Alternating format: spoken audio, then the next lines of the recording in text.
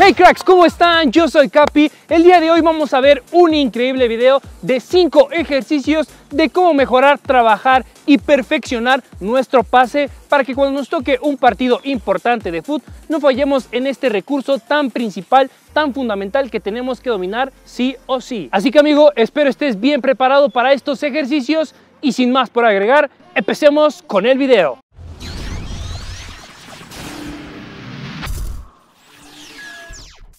Antes de comenzar los ejercicios cracks, quiero decirles que la configuración de los conos que vamos a utilizar para todos y cada uno de ellos va a ser siempre la misma. Y por supuesto puedes utilizar cualquier objeto como balones, mochilas, una playera o inclusive unas botellas para delimitar la zona. También algo importante a considerar es que para estos ejercicios vamos a necesitar de un amigo, un camarada, otro crack como tú que también te pueda ayudar a darte esos balones para realizar los pases. Y te sugiero que te quedes hasta el final porque voy a decir cuántas veces por semana es recomendable entrenar estos ejercicios el número de series y repeticiones que son adecuadas para ti. ¡Qué buen servicio! Primer ejercicio, cracks. Lo que vamos a hacer aquí es trabajar el pase más básico que pueda haber en el fútbol y perfeccionarlo de la mejor manera posible. Vamos a colocarnos justamente detrás de los conos y realizar una especie de movimiento de zigzag un movimiento parecido a un desmarque y colocarnos finalmente justamente por enfrente de los conos, como si le estuviéramos dando la espalda al rival. Una vez estando aquí vamos a realizar un pase exactamente con la parte interna de nuestro pie dominante. Vamos a hacer este ejercicio una vez por el lado izquierdo y una vez por el lado derecho. Así que si te mueves por el lado izquierdo vas a tener que dar un pase con pierna derecha y si te mueves por el lado derecho vas a dar pase con pierna izquierda.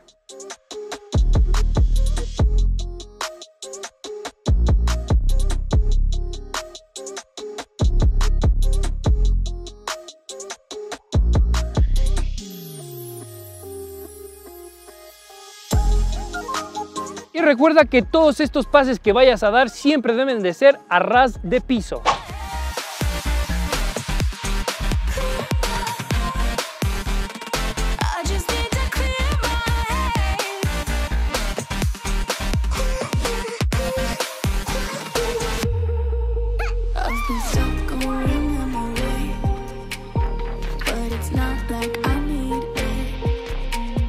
Segundo ejercicio, cracks. Muchas veces nos ha pasado que queremos dar un increíble pase, pero viene un poco elevado, viene por el aire y a veces no sabemos medir o dar bien ese pase. Por lo tanto, el ejercicio que vamos a hacer es muy parecido al anterior, simplemente con la variante de que ahora va a venir el balón elevado. Vamos a hacer exactamente los mismos movimientos del ejercicio anterior, pero aquí tanto nuestro compañero nos tiene que dar el balón elevado como nosotros también se lo tenemos que dar de la misma manera. Pero eso sí, crack, recuerda siempre este movimiento lo vamos a hacer con parte interna.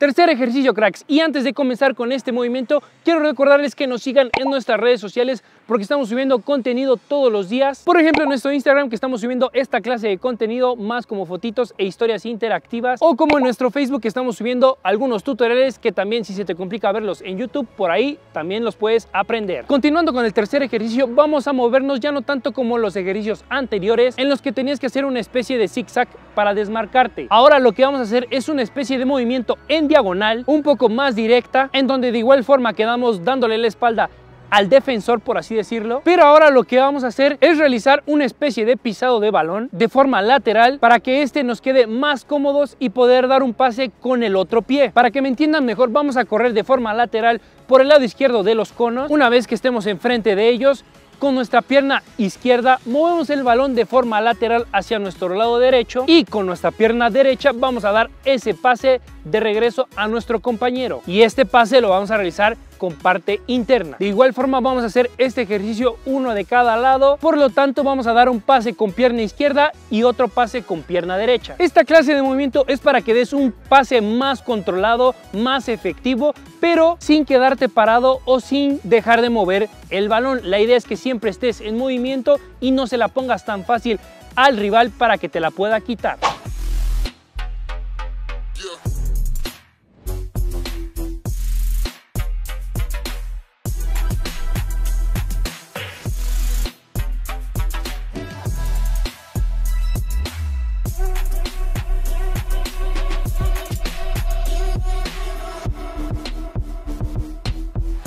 Cuarto ejercicio amigos, creo que ya hemos trabajado demasiado la parte interna con los ejercicios anteriores, así que en este ejercicio vamos a darle un pequeño cambio. Ahora vamos a trabajar estos pases con parte externa. Claro que sí, porque es un recurso que en cualquier momento del partido se nos puede presentar y debemos de estar más que listos para esta clase de ocasiones. Vamos a realizar el desmarque que veníamos realizando en el ejercicio 1 y 2, colocarnos de frente a los conos y realizar esta especie de pase siempre a ras de piso pero con parte externa. Realizar uno con pierna izquierda y otro con pierna derecha.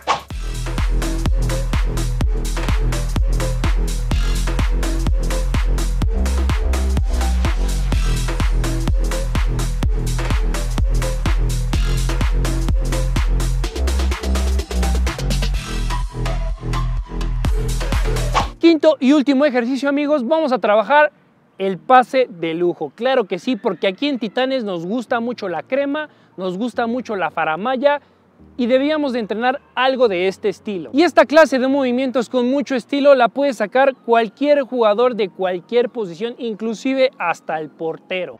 Ah, caray. Eso sí me interesa, ¿eh? Es muy arriesgado, pero de que se puede uno lucir y sacar la elegancia en el partido, se puede. Por cierto, cracks, quiero que me comenten aquí en la parte de abajo, ustedes de qué se rifan en su equipo, tal vez solo delantero, solo defensa, o inclusive yo me la rifo de medio y delantero. Déjenmelo aquí en los comentarios. Continuando con el quinto ejercicio amigos, para este vamos a realizar una especie de movimiento lateral como en el tercer ejercicio, pero a la hora de colocarnos enfrente de los conos y realizar ese pase, vamos a tratar de que al momento de realizar el pase cruzar los pies y que con nuestro pie de apoyo justamente con parte interna realizar este pase. Para que me entiendas mejor es algo así.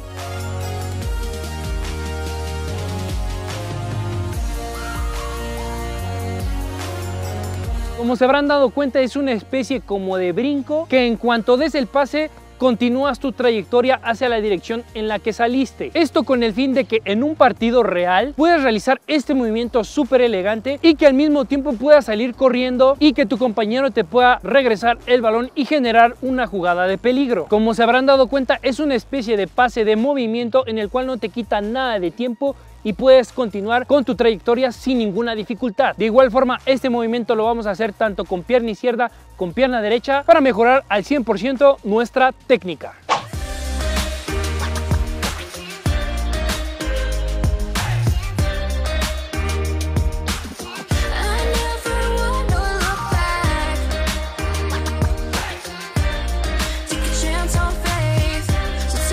Bueno cracks, hasta aquí el video del día de hoy, espero les haya gustado. Solo quiero decirles que todos y cada uno de estos ejercicios debes de practicar al menos de dos a tres veces por semana si es que tus partidos son los fines de semana y realizar tres series de 6 a 10 repeticiones aproximadamente. Como habrás visto, los ejercicios puedes realizarlos en cualquier lugar, no necesariamente en una cancha de fútbol. En dado caso de que a ti se te complique un poco esta onda de salir por la misma situación que estamos viviendo en el momento o por ejemplo que el parque más cercano donde se encuentren las canchas esté cerrado, esto puedes realizarlo afuera de tu casa, en el patio de tu casa, donde más te acomodes, eso sí, con un amigo, un camarada que siempre esté ahí ayudándote. Y bueno cracks, yo soy Capi, cuídense mucho, nos vemos en un próximo video.